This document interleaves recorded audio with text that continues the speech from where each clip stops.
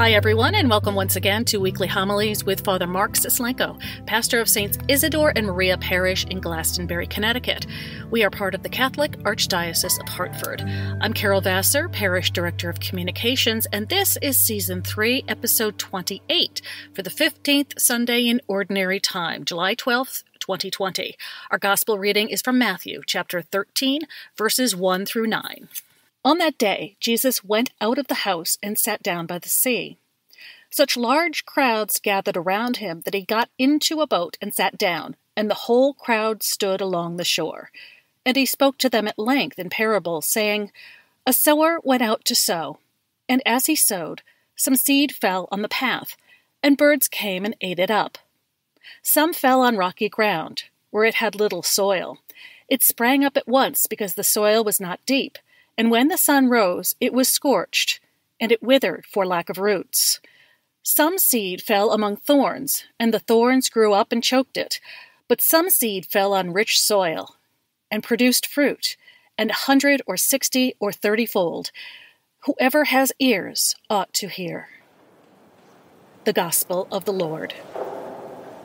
It was toward the end of July, in fact, it may have even been the beginning of August, many years ago where a parishioner showed up at my door with a bag of the most beautiful tomatoes you ever saw in your life. These things were huge. And not only were they huge, but I was captivated by their color, which wasn't your traditional red, but more of a rosy salmon. So I knew Joe very well, and I said, Joe, what kind of tomatoes are these? And he said, They're right from Italy itself. They're called Corda d'Italia. And he went on to explain how his family has been raising these tomatoes for generation upon generation, always saving the seeds to plant for the next year. And I said, This is quite an impressive yield. And a visit to his house revealed this magnificent garden that these Corda d'Italia tomatoes came from. Well, a little while after that, he showed up at my door again, and he gave me a package of seeds and said, Father, if you want to plant some yourself next year, here's some seeds to try. And of course, this was a great thing and I was all excited, waiting for February to come when I could start my little pots with the little seeds and watch what happened. So, had everything all set up, everything was all ready to go. Put the seeds in the pot, and lo and behold, they actually sprouted. Actually sprouted. They grew into these nice little plants. I said, I really did this. You know, this is wonderful. Little part in the backyard that I had, you know, to plant a little garden kind of worked the soil a little bit. Put the seeds that I had in the pots into the soil, watered them, and watched them grow. And they grew. And I said, wow, this is amazing. Look at this from seeds that are generations old. And I have these wonderful tomatoes. But there was one problem no fruit. Minimal yield. There was these little things that came out that kind of tried to turn red, but that was it. All these spots on them and all of this. I said, What happened to my tomatoes? I said, Joe, I said, You produced these magnificent things last year, the same season I got this. And he said, Well, what did you do to the soil? I said, I kind of scratched it up, moved it around a little bit, put the things in, and that's it, watered it. He said, No. He said, Your soil needs to be nurtured. He said, You didn't put the right stuff in. I said, Ah. Oh. I was focusing on the seeds. Now, there's a lesson here for our spiritual lives. We focus on the seed. You know, and we expect the seed to kind of just do what it's supposed to do because it is the seed, the Word of God. But we don't realize that God is sowing the seed all the time the seed of His Word, the seed of His presence. Generation upon generation, day after day, moment by moment, God's seed is being sown. Well, if God is sowing all this seed, why isn't it growing? Why isn't the kingdom of God here in more fullness? And why are we struggling with all of this stuff we find ourselves struggling with? And so we look, well, maybe God's not planting the seed, or there's something wrong with the seed. Well, it's not the seed, it's the soil.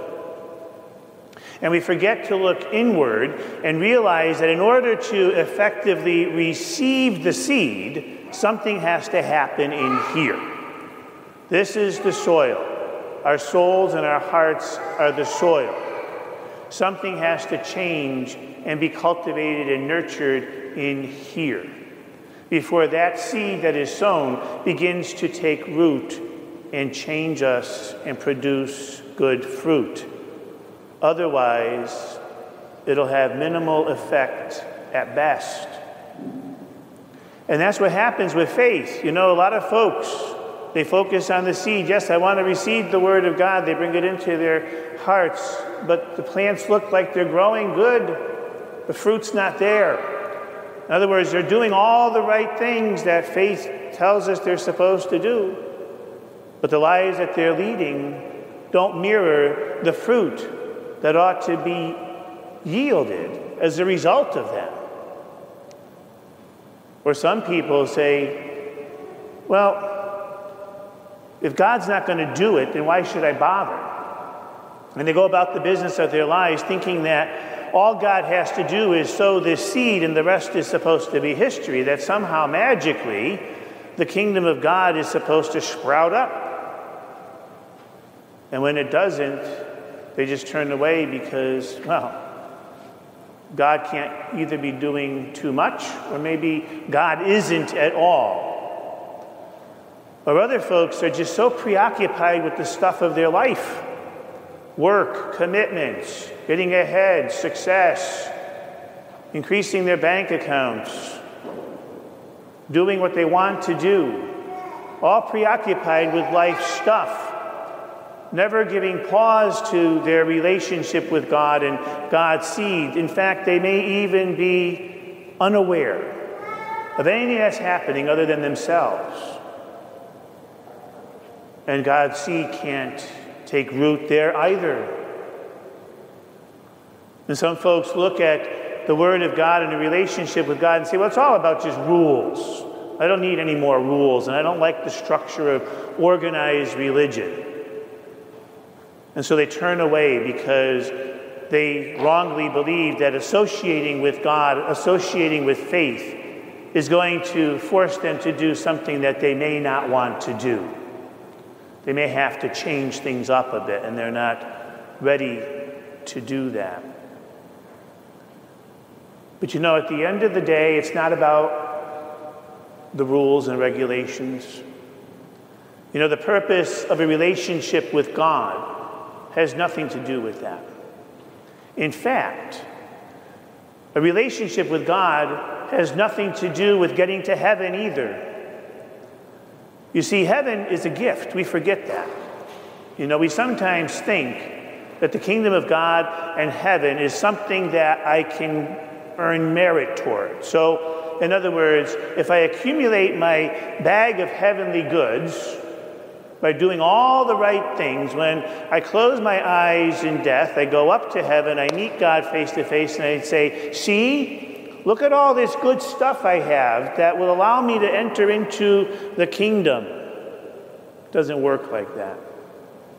God gives us the gift of life eternal, just like He gives us the gift of His love. It's not something that we can volley for. It's not something we can compete for. It's a free gift. So, what does God give us then? That is useful. He gives us our human selves. And the best and most perfect gift of faith is the gift of freedom. Freedom. Well, freedom from what? Well, freedom from anxiety, freedom from excessive worry, freedom from an over attachment to the world's stuff, freedom from my sinfulness, freedom from my myopic vision of life, freedom from my tendency to want to overly protect myself and marginalize those that don't fit into my vision of life, freedom from all of that stuff that bogs us down and gets us off skew on our journey to being a human being fully. Freedom. Freedom. You see, it's not just about being good.